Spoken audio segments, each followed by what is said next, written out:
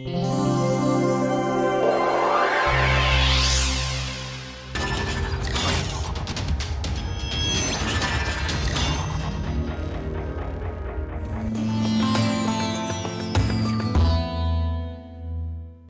let's quickly review what uh, we were doing in the last class.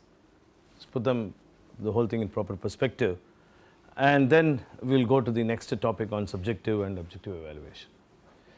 Uh, essentially, what we did was initially to uh, look at understeer gradient from the point of view of the tires.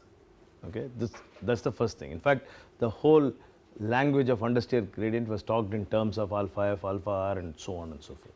So, it is the first thing that we started here. When we expanded the concept of understeer gradient, uh, remember that we were concentrating on the steering input and the corresponding behavior of the tire.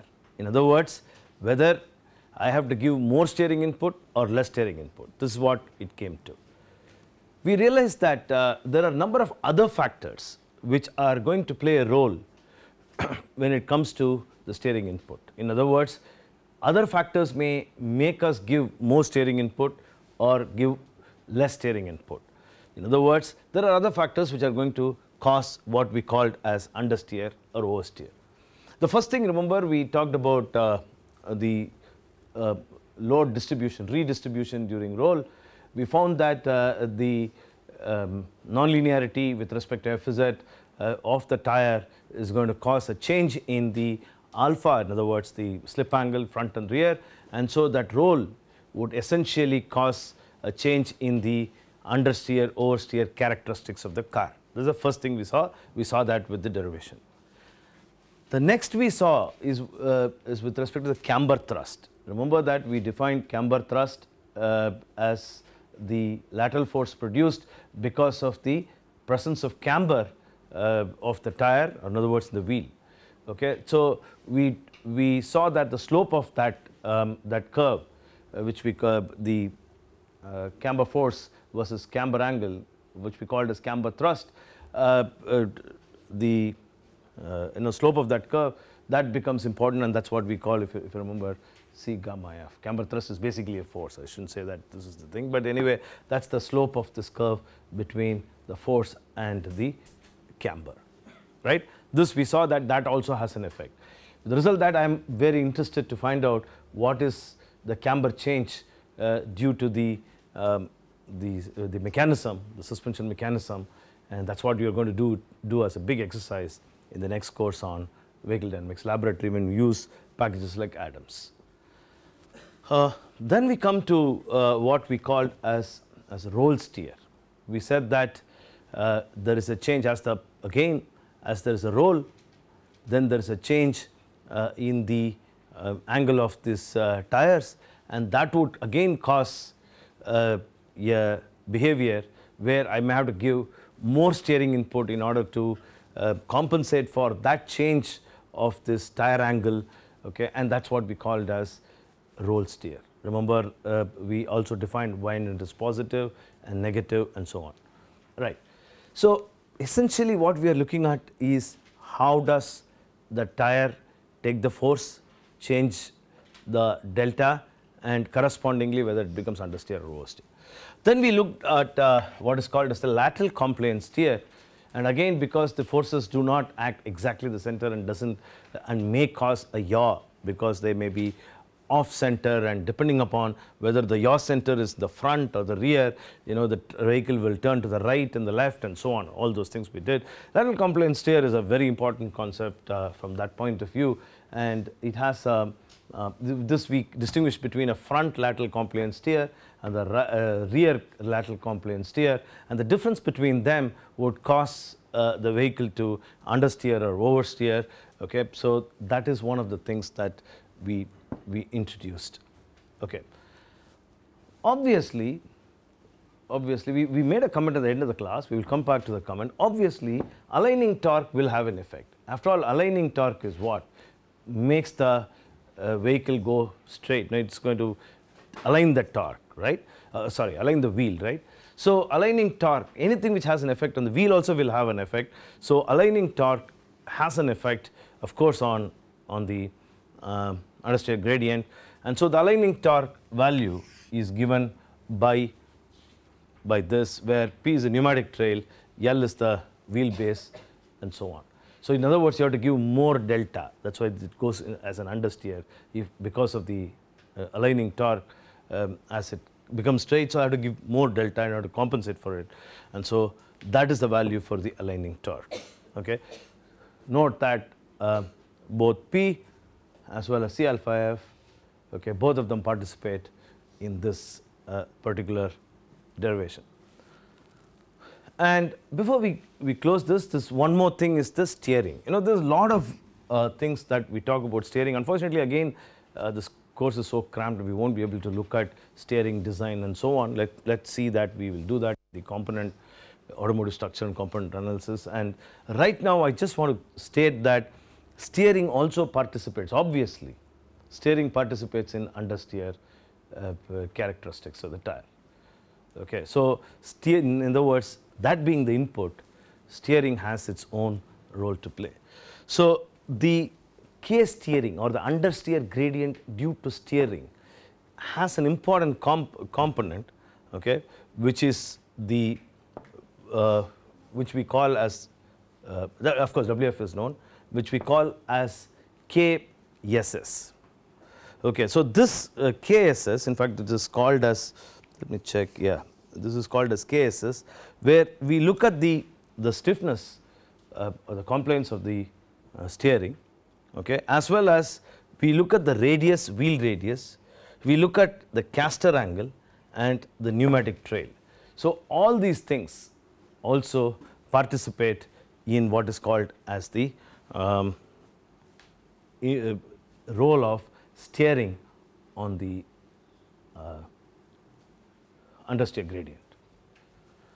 Okay. So, we will we are going to talk a lot more about steering in in a few minutes okay, and its role on the whole of handling itself. And lastly, uh, the two things which we have left out. One is there is a load transfer to the front because of acceleration, deceleration and so on. We mentioned that. Uh, we have not taken that into account like what we had done for uh, uh for the you know rear uh, sorry rear and front due to roll. Okay, here this is due to pitch. Unfortunately, the uh, model which we have won't be able to take that into account. So, you have to go to a much more detailed model if you have to look at how load transfer is going to uh, have an effect right on this. But when you do testing, this becomes an important quantity, uh, the, the way transfer takes place okay, when you um, when you brake or decelerate okay, the transfer takes place and due to which what would be the difference in the force that is developed in the front and rear is going to have an effect. Okay. We are not considering this as a formula here, but we will consider that when we look at the subjective and objective rating. And lastly, the tractive force, you know the other one is the tractive force. Tractive force has an effect, I leave this derivation Uh, for you to look at in Gillespie. Whole of these things as I told in the last class the reference is Gillespie. So, here you would see a very interesting thing. The FXF and front and the rear FXR are the forces that act in the front and the rear. So, if this is the rear tire and if this is the say for example this is the front tire then those are the FXF and FXR okay that act. So, for example it can if there's a if it's a traction and if it's a front wheel drive then FXF is what you will get and you will um, you if, if it's just a front wheel drive you won't get FXR whenever you are accelerating right. Now look at this what happens. So even for you know a neutral steer where the rest of it are not there in other words the first geometric term is affected by the traction. Okay, the very first term is affected by the traction. Okay. So, what happens higher the term, higher this is, lower is delta and hence there is a tendency to oversteer or understeer? Yes, because you have to give me give more delta to it. Okay, so you will you will understand here in every term here. For example, if you look at this term, okay, there will be a more delta is minus, so it will become an oversteer quantity. So that will so delta is less, which means that it is oversteer. Okay, so delta is less here because there is a minus term here. The car tends to oversteer. Okay. So, in other words the front wheel drive has a tendency okay, because of traction to be oversteered, okay, but due to other factors like A and B, uh, the distance between the uh, between the front axle and the center of gravity location, okay, that being small has a tendency to understeer. Okay. So, that is one of the contributions or this is this term is a contribution for the uh, understeer gradient. Clear? Okay. So, in other words what we essentially we have done is we have extended the understeer gradient to include 8 different parameters. So, if you look at the understeer gradient of the car you have to consider all these things. Okay. Now, we will move further than this. You can, you can look at the, I do not want to interpret this, you can do that interpretation in each one of these cases. It is quite simple. So, we will go, go over to how to apply all these things, whatever we have studied in order to look at handling. Is it clear? Any questions? Yes. Pneumatic trail? We already saw that. No? The force, lateral force does not act at the center, acts at the rear. You know, that is the the moment that's created, that distance at which this acts and gives the aligning torque. The force multiplied by pneumatic trail gives the aligning torque. Okay, so that's what we saw long ago as the pneumatic trail. It's a we yeah we will we will talk about steering right now.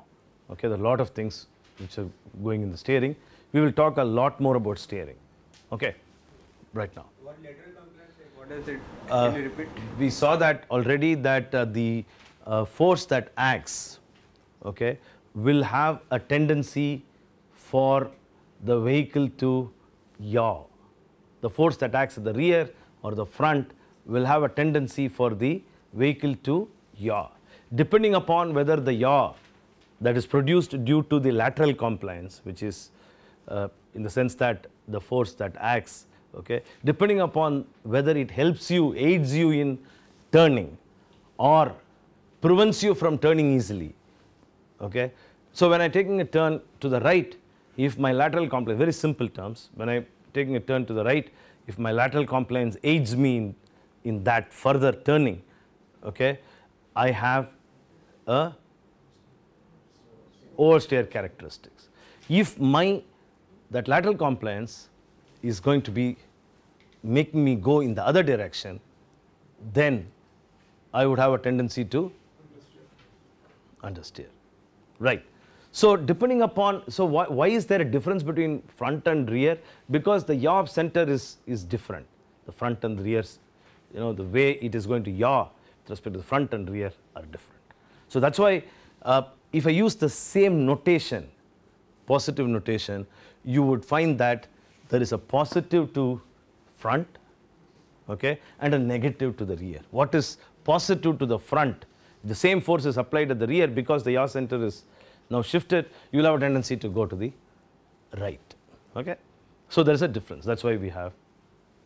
Okay? So, here also the compliance of the steering system comes into picture. Okay? That is that is very important and we are going to see that as well. Right. In fact, I have to spend a lot more time. I do not have that time now. So, I refer to Gillespie as a chapter on, on steering. But we will move now, we will move away and we will look at uh, subjective and objective evaluation. Okay, let me finish this and then I will take the questions. Okay. Now, uh, there are number of references. This is a topic um, which I would say uh, has been very well researched. A lot of work has been done. So let us um, look at a few of the work that from where we are going to pick some concepts to understand what is subjective and objective evaluation. Before we go further, these are the references, reference SAE 980226, a group from you know, by Crolla and others, Professor Crolla and others. Uh, so that is, uh, then I mean that's a, uh, the topic is vehicle handling and assessment using a combined subjective objective approach. An important, very interesting paper, a lot of data available. It has gone into a PhD thesis as well, correlation of subjective and objective handling of vehicle behavior by Ash from Leeds University. This Leeds University group has done a lot of work on this with the help of MIRA, uh, Motor Industries uh, Research Association in UK.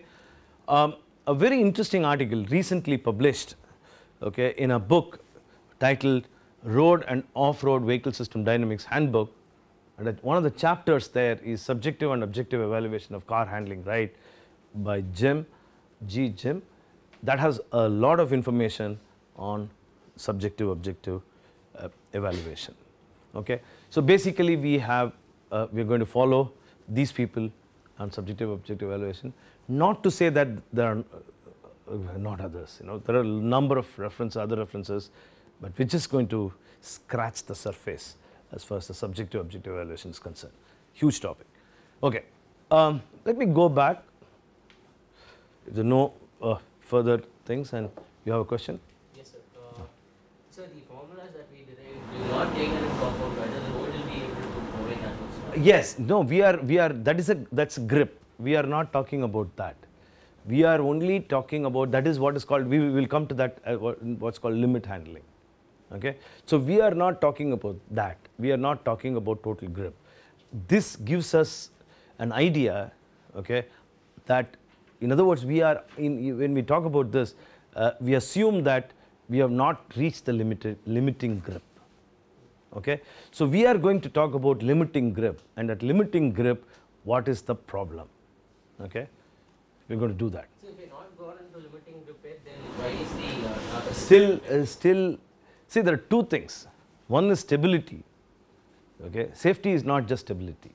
The other is the driver's ability to follow a maneuver.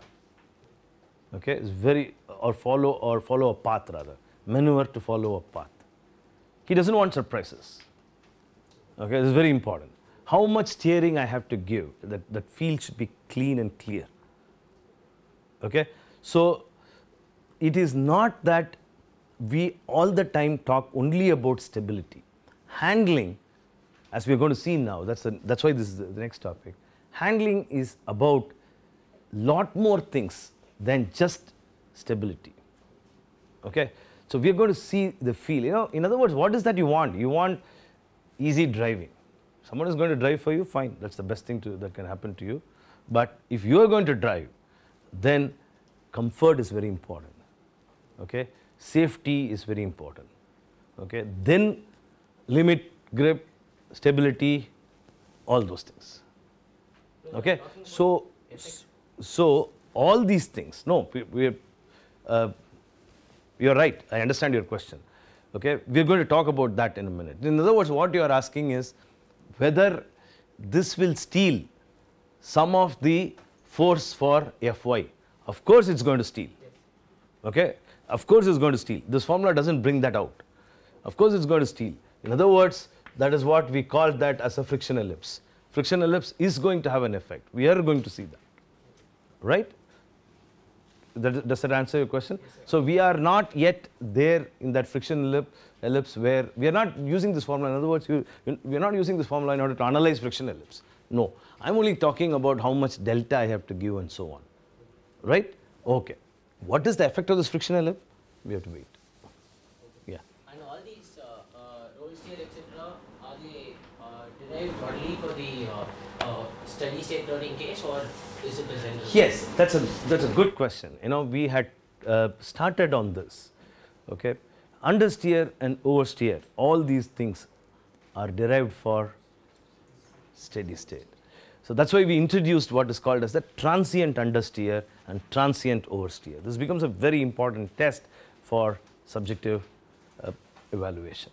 In fact, this, this, becomes so important that there are power of power on test, okay, that becomes a bread and butter of some of these tire companies. Okay. Most instances, in fact, tire companies are at the forefront in order to understand the subjective objective evaluation. Basically, because they are the people who are going to provide many of the field which we are talking about. Okay. So, there are three things now. I had done that before, but let me repeat this. So, I have a subjective evaluation. What is meant by subjective evaluation? We have expert drivers, not one, maybe a number of drivers. There is a jury may be available. So, this subjective means that it is the perception of these drivers. Okay. So, they have a questionnaire. In fact, questionnaire design, okay, there are standards now. The questionnaire design is important. So, you can go and ask him obviously you are all students you know so you don't hey how was the car you know did it go well no man it's a damn squib you know this kind of thing won't work right i mean so you have to have a proper questionnaire and a proper test procedure. So you have to say that i am doing a steady state cornering on a smooth road okay? Are you able to hold the line? Okay Th this kind of things. In fact Crolla and others have got into about 39 questions okay? And then there is a rating maybe 1 to you know 1 to 10 scale and so on. Some people may differ some people may agree. You know like all questions everyone won't agree. Okay? So um, uh, we'll, we'll typically see these questions a bit later but I'm, I'm, I'm only telling you that there are a number of questions. Okay? So there are tests and there are questions. And there are ratings. Okay, there are ratings. Ratings may be 1 to 5 scale or 1 to 10 scale and so on. Now, this is subjective.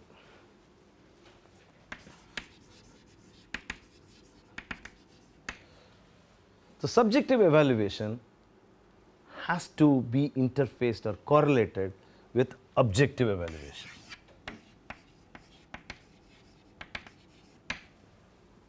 Okay. So, there is a test procedure of course and there is an objective. What do we mean by objective evaluation?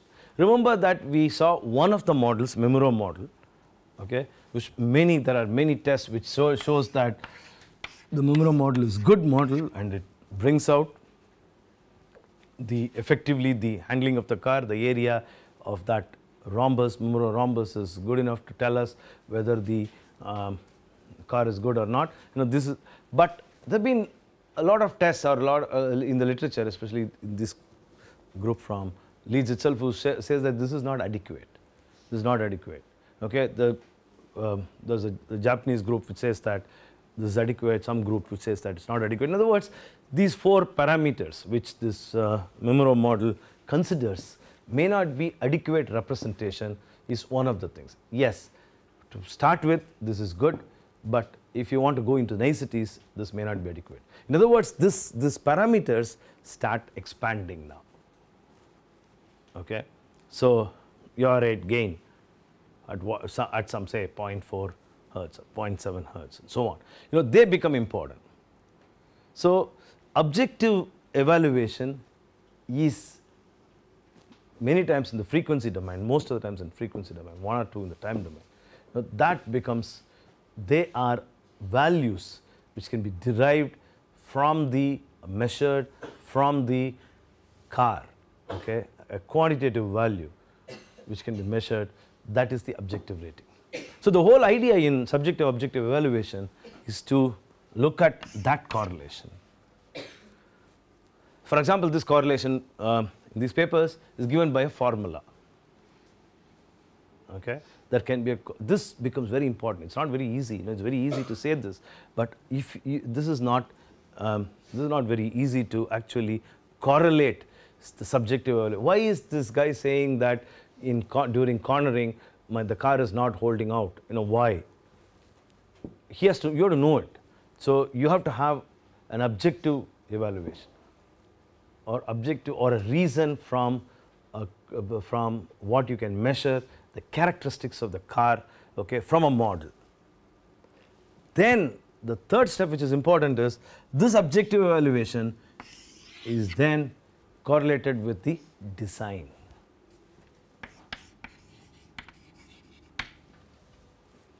With design. Now what should I change? If yaw damping is not good, what is having an effect on damp damping? Okay. So what is having an effect? So that this whole thing is clear. So in other words, if a driver, uh, an expert driver comes and says that this car is has a problem, what is called balance FARA or something like that, then what is, why is that happening and how can I correct it? So that is the complete route. Okay. Now let us look at subjective rating. So as I told you last time that um, if you want to buy a car, let's see what all you will do. Okay, you know this already, many of them, but it's fun to look at how to evaluate a car. We will we will come to a very specific uh, maneuvers later. Let's look at a very broad, you know, perspective of subjective rating. So we, we follow Jim in what we are going to see now. We already saw that. In the, uh, please link what we have done so far to what I am going to present now. Yes. Assuming that we have a model for our car, Hmm. I mean, if we uh, find out certain parameters of that model, uh, assuming that model is exactly what the car will behave like, then we'll have all the quantities which will characterize the car. Yes. So, I mean, it should be very, I mean, if we have those four parameters and if they quantify the model exactly, then it should be adequate. Right.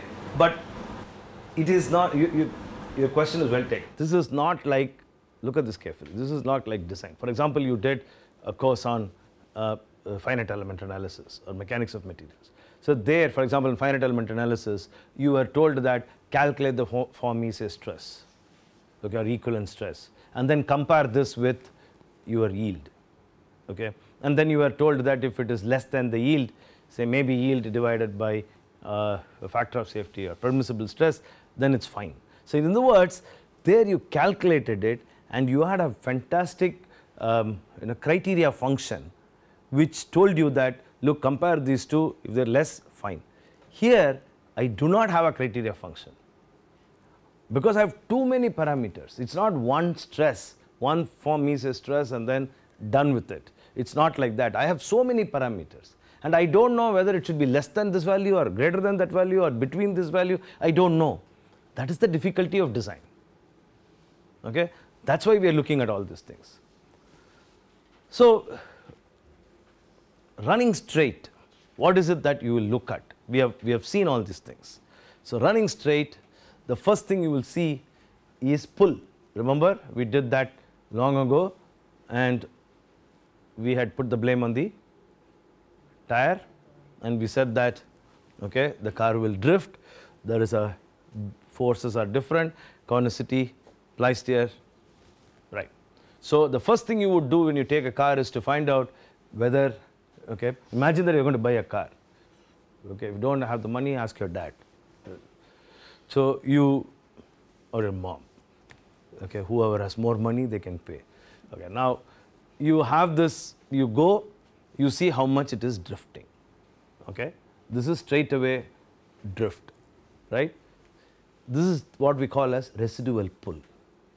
Then running straight, this is one of the reasons for, for it not to, uh, not to go down or not to go to one side. Then there can be other things. This, when you run straight, okay, the tire may not be the reason for it to drift. There are, there may be other reasons where if I now if there is a pull the it may so happen that the vehicle can go like that what is going straight may go like that and that is drift. But, but the vehicle can also go like this okay it can go straight here what is the difference here it can turn like this this, can, this is the pull you know this can be drift of the vehicle okay as you go down. It may be due to steering system and so on. Then it can wander. It can wander. What is wander? It can go like that. And remember that when when we go over a bump or a rough road or whatever it is, okay, there can be, it's possible that the steering is not steady and it can wander or it can wander uh, uh, and be sloppy. All these things may be due to external disturbance like uh, say a crosswind flowing and so on. So in other words, we are expanding the first thing called drift to take into account uh, a motion away from the straight line due to a crosswind, okay, due to road roughness and so on. The lower it is, is better. So the first thing you do is to take a car and drive straight. Hey, it's not going straight. I have to keep my steering all that time, okay, engaged so that I don't, I don't get into trouble. That's not a, that's not a good situation, right? Okay. So that is the first thing we have to do. Um, the other one is what is called as torque steer. Oh, steering happens not by only you. Steering happens by so many things. Okay. So what is torque steer? So most of the cars that you, you drive, for example, are the are front wheel driven cars. Okay. So that the torque for the wheels are given to the front wheel. Sometimes it may have, why sometimes, you know, due to so many reasons that the left and the right torque may not be the same and there can be a difference because of which there can be a steer. Okay. There can be an unbalance in the torque that is given to the front wheel and because of that there can be a steer.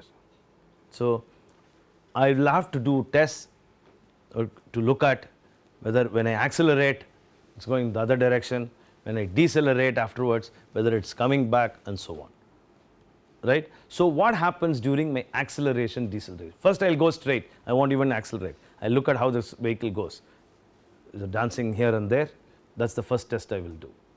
Then I will take the car and accelerate, okay, see whether, okay, loosely hold the steering, see whether it is going to one side because of torque steer. It is steering on its own because of this acceleration that I am giving and because of the torque that is uh, available at the wheel right. When I decelerate is it coming back okay. In other words is the car having a path like that.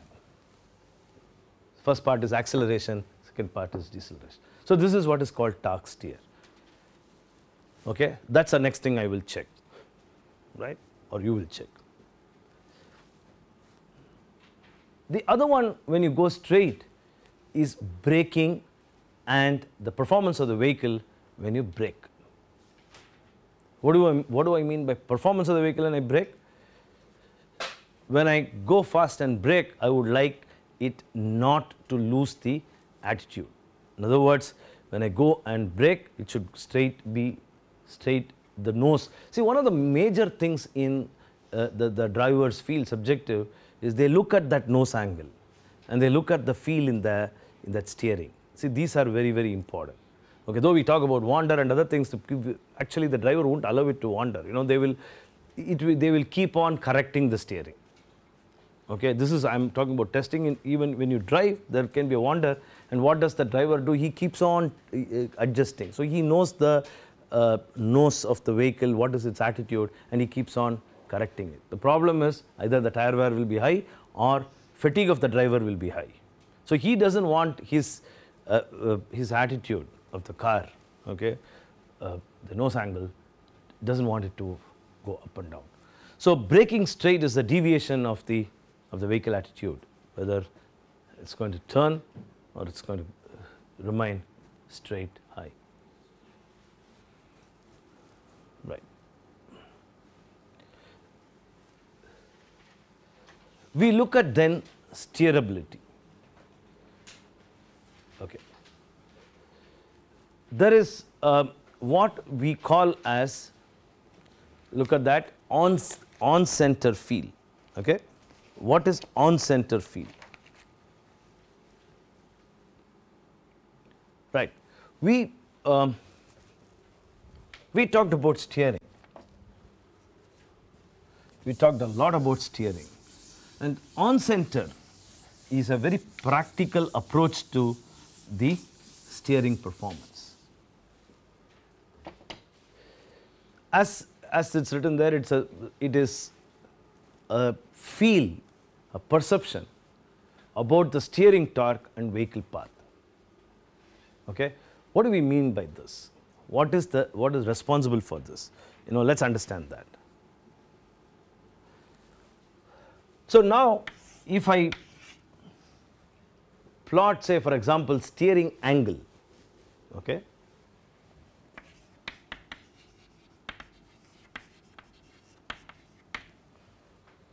versus the torque, steering torque,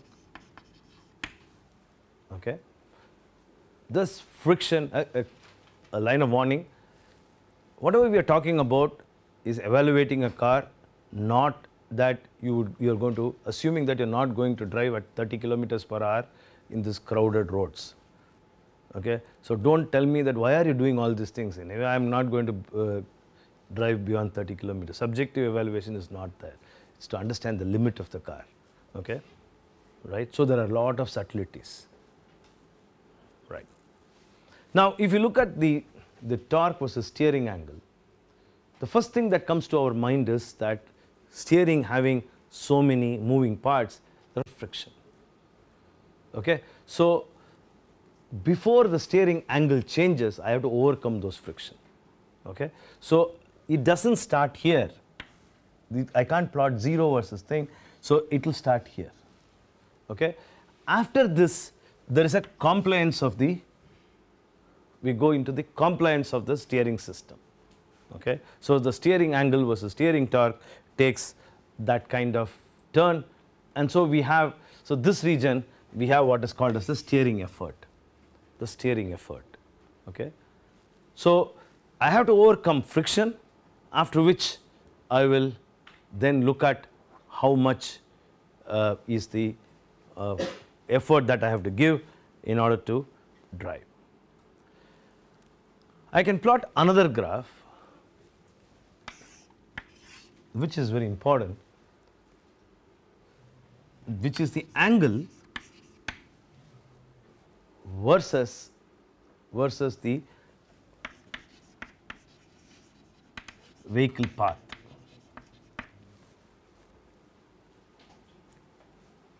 Angle versus the vehicle path. Okay. How is it going to look like? It's going to look like this.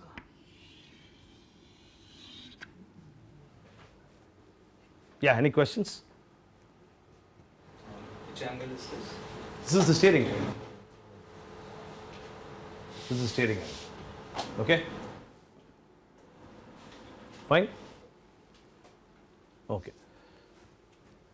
So, you would see, I mean, let us say that it's, it's symmetrical about the center. You would see that, look at this. There is an angle of the steering after which a path change is going to take place. This is very important. Okay? This is called as the dead length. This is called as the dead, dead length.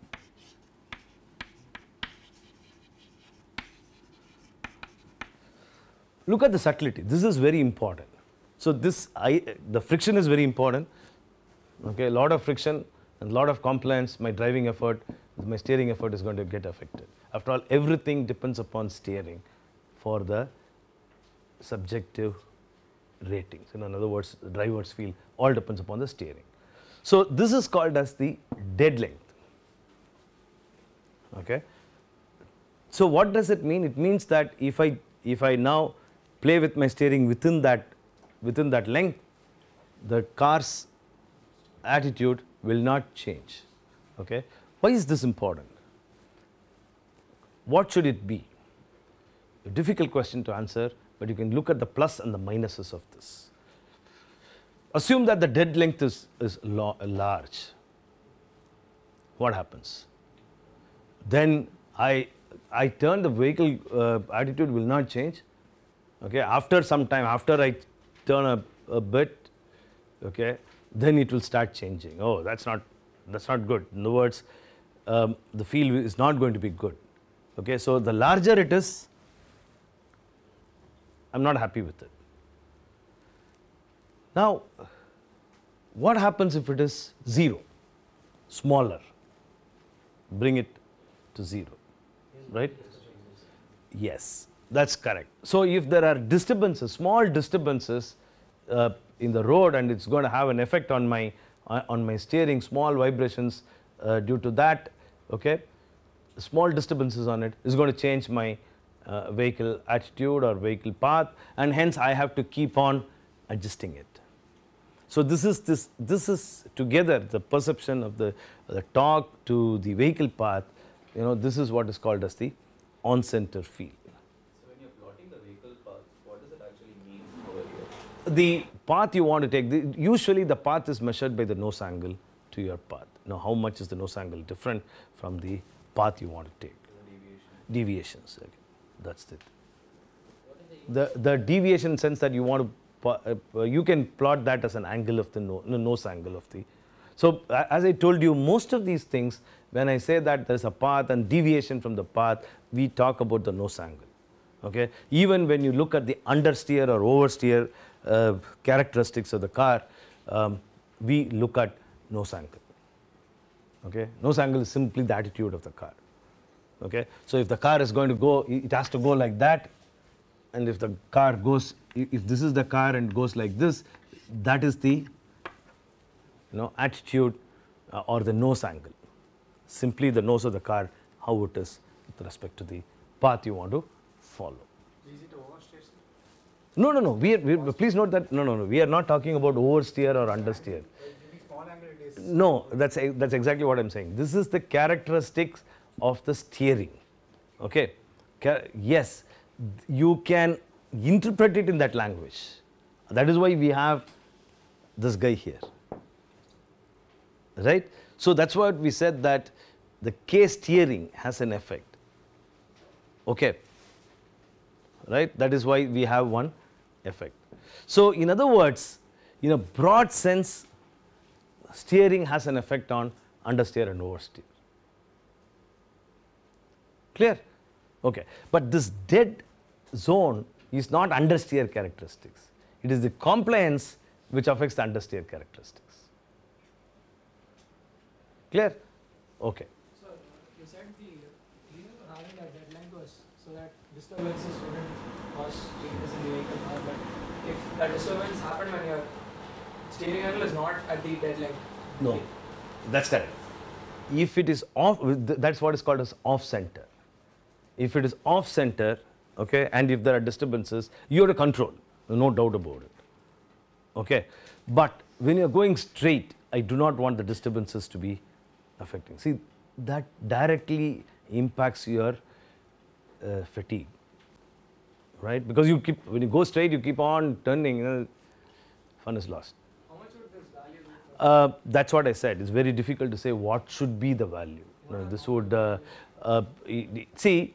Actually, if you look at the total steering input, it runs to 300 uh, you know degrees. There is it is not that it is 5, 10, 20, 30. So this may be of the order of about 8, 10 or maybe less, much less than that. Okay, plus or minus 4, 5, that kind of thing. So a very small uh, value because you would see uh, how much the, the actually the, the steering changes okay because when you when you go straight.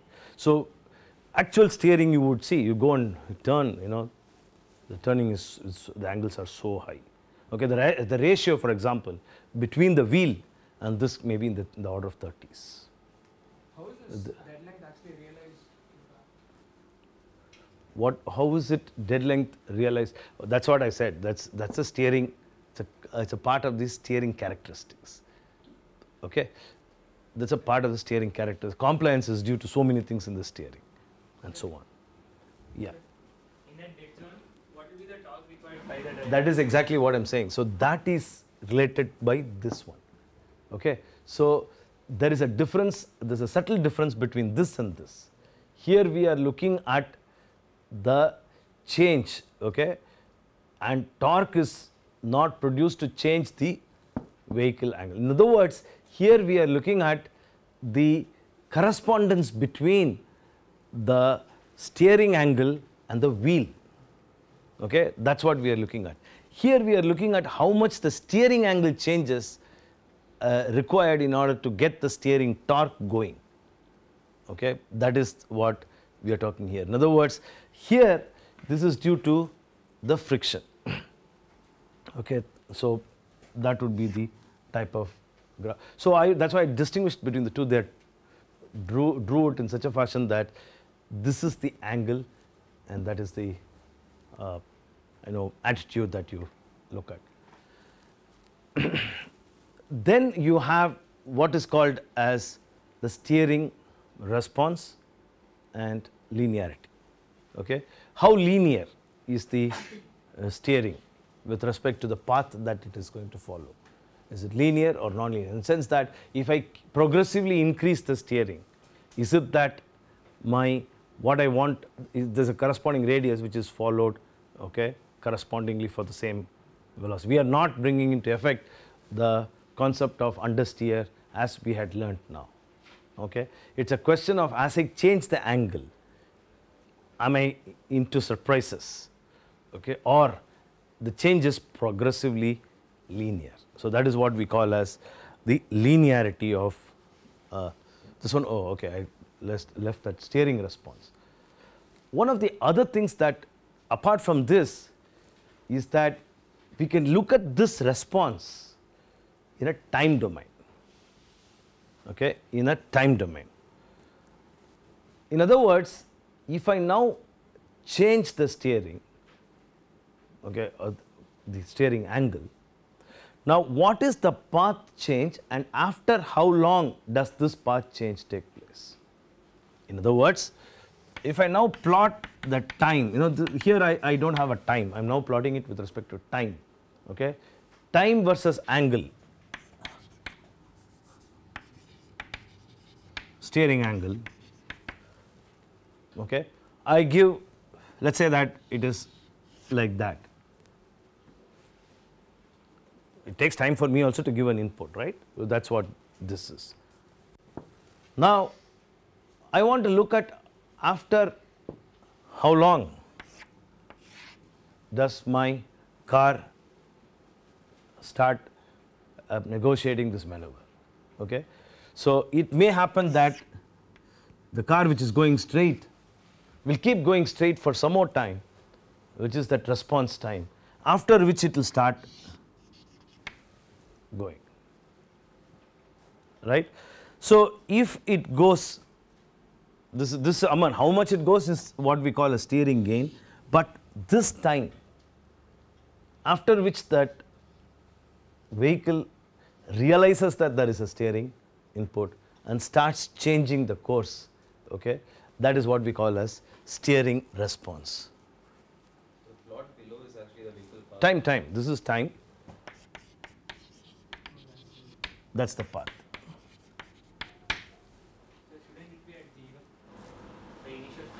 No, no, okay, fine. Um, doesn't matter because it, uh, I'm just going straight. That's all. You know, this is only a subjective uh, representation, not a very objective representation. Okay, I'm going straight. I'm changing it. That's all. After how long I change, that's all. It's the length, right? Okay. So that's the steering response. Then we have three things. You know, steering precision, steering angle, steering effort, okay, all this thing followed by what is called as returnability. So how do you test all these things? Okay, we, we, we will uh, look at the three things. It's the name indicates what they are. How do you test all these things? So let's say let, let's say let, let's give you a test. Let's not become too technical. Let's say the returnability. What is returnability? Steering has to come back. Okay, and so suppose I tell you, you you design a, a test to look at returnability. Okay, how what will you do?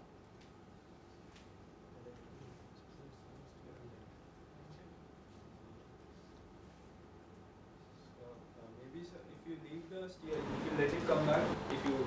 should, does it go back to the same first? Yes, but how will you do a test? You know, it's, it's going to be subjective objective. Of course, we are looking at subjective Then tests. we'll need uh, a lot of uh, users test driving it. No, no, no, no, no, no. That's all fine. But what is that? See, there is a difference between evaluation, okay, and a test procedure. Okay. So how will you do it? So, but what test procedure is successful? That's what I am asking you. What is the test procedure you think can be done in order that I can test, say, for example, returnability? See, that is how you, you look, you, you conceive a test. So each one of them will have a test, you know. So th- that's what I said, subjective evaluation, then there's a test, then there is a feel, then there is a mark, uh, there is a grade, then look at the objective evaluation. So what is the test? Simple. I go straight, I flick the steering. Okay, this is called flick test. Flick the steering. Okay, then how fast the steering comes back. What is my feel that steering comes back? It can also be measured. Okay, so these are. So for everything there are tests, right?